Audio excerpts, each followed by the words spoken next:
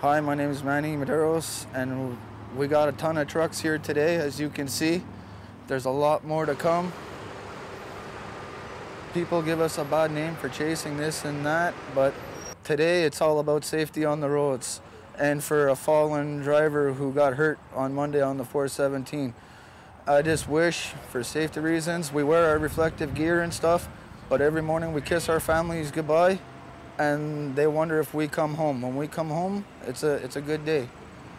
So it, you wake up the next day, you do it again, and you do that every day until something like this happens. And as you can see today, it's not about which competition, who's this, who's that. We're gonna have a bunch of different companies here today. And when something like this happens, we all come together. It's a brotherhood. It's one big, massive family. And that's what I want people to see and recognize today. And for this new law that came into effect, slow down, move over. We shouldn't have even had to put this law, and it should have been a common courtesy.